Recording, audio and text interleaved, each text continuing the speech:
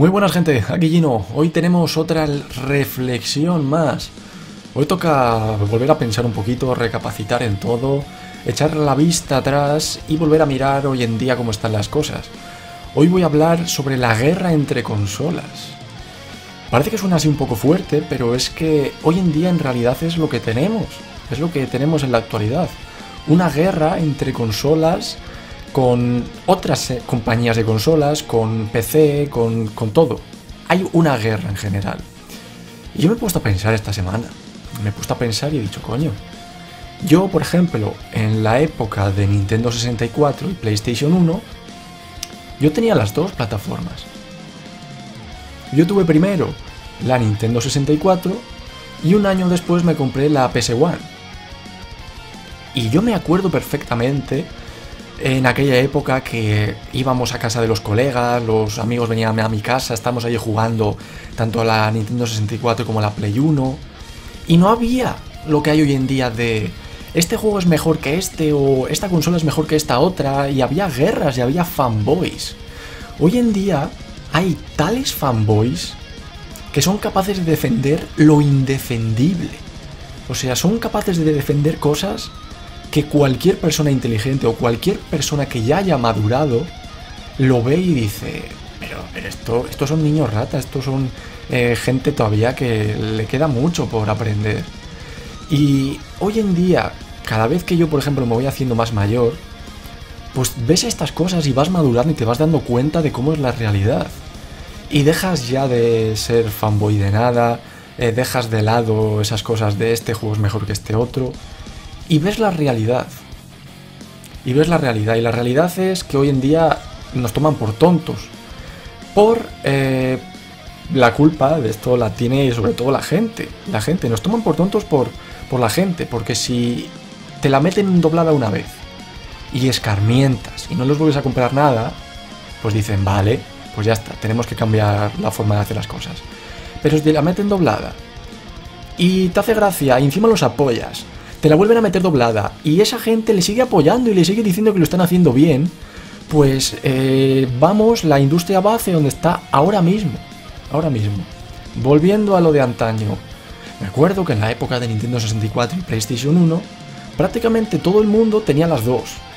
Y había gente que no tenía las dos, pero no por eso decía la que yo tengo es mejor o la mía es más grande. ¿Vale?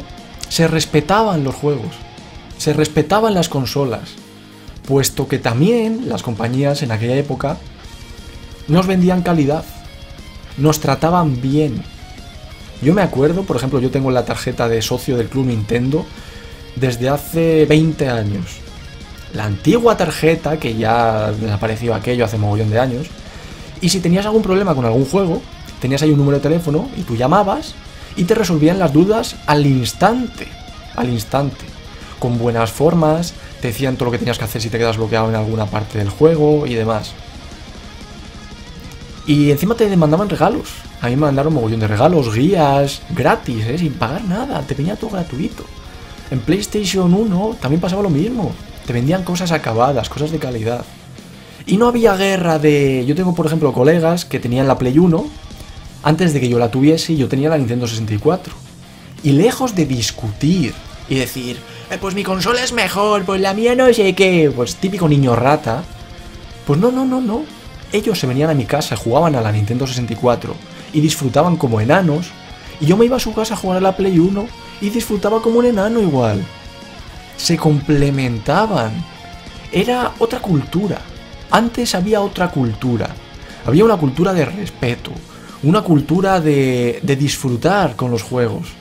Hoy en día no, hoy en día lo que prima es el salseo, Hoy en día lo que prima es la guerra, el montar bronca. Parece que es lo que de verdad la gente quiere y la gente paga por eso, parece ser.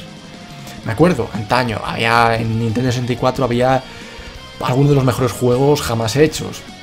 Ya quitando, bueno, Super Mario 64, Zelda Ocarina of Time, la saga Turok, juegazo de los gordos, GoldenEye 64, padres del shooter moderno, teníamos Jeff Gemini, teníamos F0X, Super Smash Bros, eh, Mario Kart 64, o sea, Pokémon Stadium, el mejor Pokémon jamás hecho, señores, que incluso podías meter los cartuchos de la Game Boy y jugar y conseguir Pokémon especiales, o sea, teníamos juegos hechos con cariño. Y en PlayStation 1 lo mismo. Teníamos los tres mejores Final Fantasy de la historia, 7, 8 y 9 eran de Play 1, que yo me acuerdo todavía que tengo los cuatro discos, por ejemplo, del Final Fantasy 9 y cada vez que ibas pasando de disco, la consola se paraba y te decía, inserte nuevo disco. Y tú tenías que sacar el antiguo y meter el nuevo. Teníamos eh, Siphon Filter, un juego de disparos, cojonudos los Siphon Filter, muy muy buenos. Y por ejemplo en este tipo de juegos como el Siphon Filter de, de Play 1, no había la rivalidad con GoldenEye en plan, pues el GoldenEye es mejor, no, pues el Siphon Filter es mejor.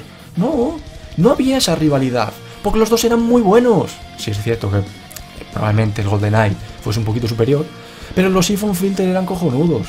Me acuerdo, por ejemplo, del Vandal Hearts 2, un juego de estrategia por turnos de Play 1. Cojonudo, gente, cojonudo, Spiro de Dragon, Crash Bandicoot, Medieval, en Play 1, Medieval, juegos cojonudos. Y no por eso, por el Crash Bandicoot metía mierda al Banjo Kazoo de la Nintendo 64. No, porque los dos eran cojonudos. Y antaño lo que quería la gente era disfrutar de todos los que pudiese. No decir, pues esta consola es una mierda, pues si la compras es que eres tonto, pues esta consola es no sé qué, y si la compra es que no sé cuál. Esas mierdas no las había, porque antes había respeto. Hoy en día se ha perdido el respeto, se ha perdido los valores. No hay nada, no hay nada, solo prima el, los amiguitos, el lamer culos y el llevarse la pasta. Es lo único que, que entiende la gente hoy en día. En todo, en general, o sea, lo podéis extrapolar a todos los puntos. A videojuegos, a política, a, la vida en general. Ha, ha, decaído, con los años ha decaído por completo. Y sobre videojuegos, hoy en día, hoy en día, con Play 4, Xbox One y Wii U y PC, hay una guerra encarnizada. Me acuerdo de la época de la Super Nintendo, de las consolas de Sega, que joder, tío, es que disfrutabas los juegos, da igual en la plataforma que los jugases.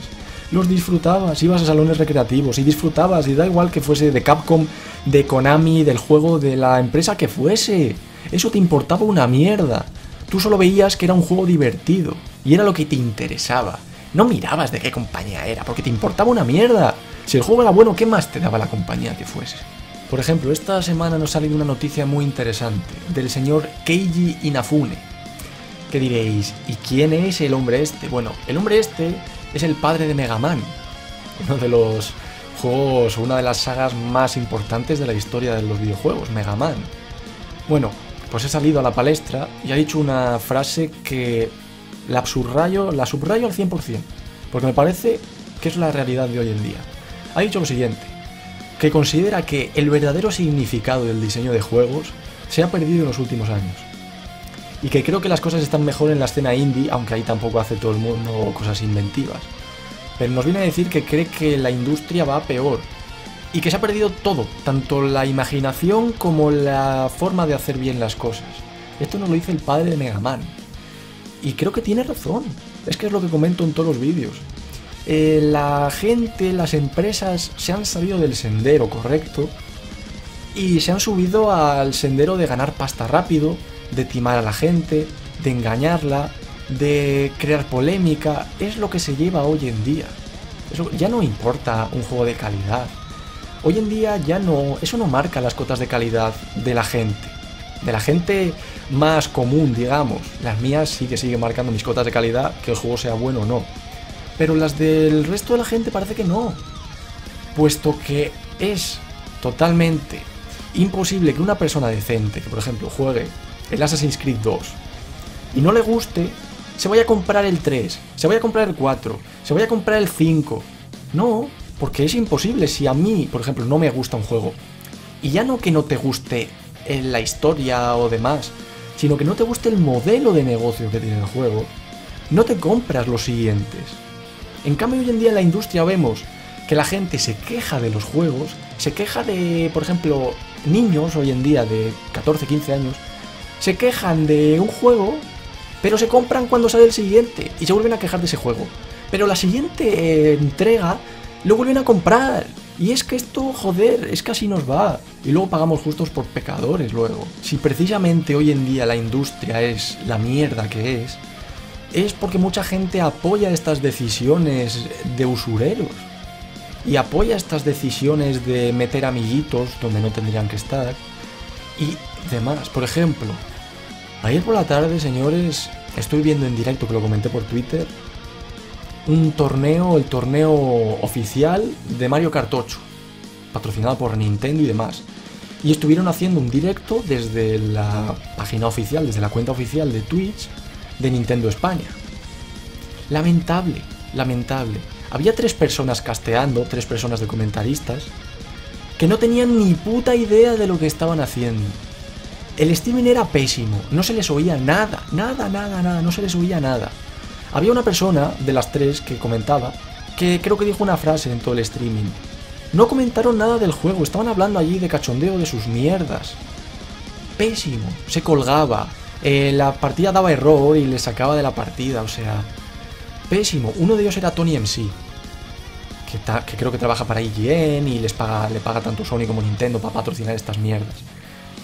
Así nos va a todos, o sea, metiendo amiguitos en este tipo de cosas, en vez de llevar a gente que de verdad sepa hacer las cosas.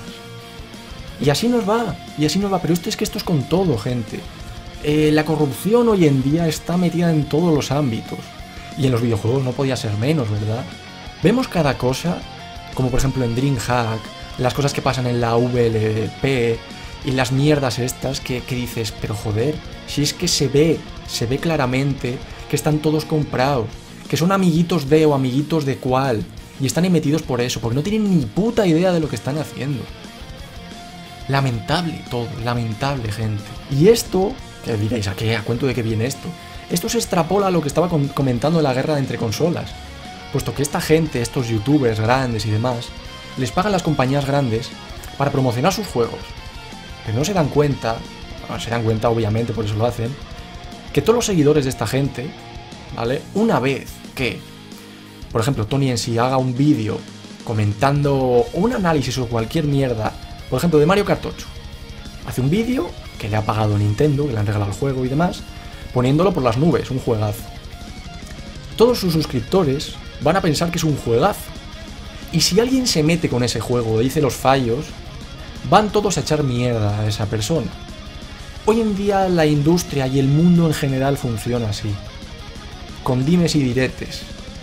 Y esto a mí me provoca asco, asco y vergüenza y me pone de muy mala hostia. ¿eh? Las tres cosas. Estos días me están llegando muchos mensajes al canal de YouTube de gente diciéndome, eres un hater de los videojuegos, es que no te gusta ningún juego que sale, es que solo criticas. La gente que me pone estos comentarios, mm, gracias o debido a gente como esta, es una de las causas por la que los videojuegos de hoy en día van mal y por la que las empresas nos toman como gilipollas. Puesto que esta gente conformista, que se compra todas las mierdas que salen y encima las aplaude y las alaba, por gente como esta, nos vemos perjudicados los que de verdad tenemos criterio. Por gente como esta, la industria va así, puesto que si hay gente así que va a comprar cualquier mierda y que la va a lavar, ¿para qué se van a currar las empresas juegos buenos. Si te pueden sacar juegos eh, sin acabar y luego lo vendiendo por DLCs durante los próximos dos años y la gente pagando. Si hay gente que alaba esto, ¿para qué van a sacar las empresas juegos decentes, verdad? Estoy, es que estoy muy, muy cabreado y muy decepcionado. Y es que, joder, hago estos vídeos. Cada mes yo creo que hago uno de estos comentando lo mismo. Y es que sigue, y mes tras mes. Y cada vez vemos cosas peores y sacan eh, Kickstarters en conferencias para que la gente ponga pasta para juegos cuando por detrás ya les ha pagado las empresas, o sea. Es que estamos viendo, el, está tomando una tónica la industria en general, joder, que es que... Es que no sé dónde coño va a llegar. ¿Qué va a ser lo próximo? ¿Qué va a ser lo próximo? ¿Que tengamos que pagar nosotros el desarrollo de los juegos? ¿Qué va a ser lo próximo? ¿Que nos toque avalar la casa para comprar un juego? Porque encima es que estas cosas llegarán, llegarán porque van a llegar, y la gente seguirá aplaudiéndolas. Y a mí me seguirán llamando hater y me pondrán insultos porque critico estas cosas.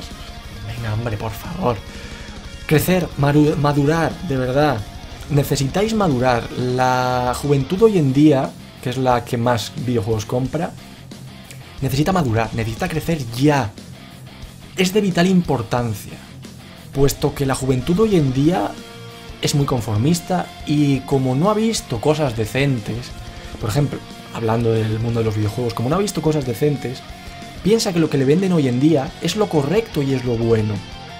Pero la gente ya un poquito más mayor nos damos cuenta de que nos están tomando por tontos hoy en día.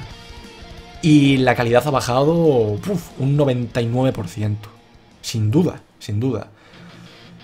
Así que nada, espero que mientras haya alguien que se dé por aludido y que entienda de verdad el significado de este vídeo, eh, porque siempre tendremos mogollón de, de dislikes, como siempre, que no me importa, ¿eh? y mogollón de comentarios, de insultos y de gente y demás, pero que eso no me importa nada. Me gustan esos comentarios también, ¿eh? Así puedo ver qué, qué bien va la sociedad hoy en día. Pero mientras haya gente que le sirva este vídeo y que se dé cuenta de que esto es así y que ponga remedio para no seguir engordando esta bola de nieve que se está creando, pues yo creo que yo me sentiré orgulloso y sentiré que de verdad ha merecido la pena el vídeo. Así que nada, gente, dejadme por los comentarios qué, os parecen estas cositas, porque ya lo, comento todos los meses prácticamente lo mismo, pero muy mal, muy mal. Estoy, estoy decepcionado, estoy asqueado, estoy ya cansado de, ver estas noticias de mierda que salen todos los días y ver, a gente aplaudiéndolas encima. Que eso, eso es lo peor de todo. Así que nada, espero que os sirva de ayuda, que os haya gustado el vídeo y nos vemos en el siguiente. Oh yeah.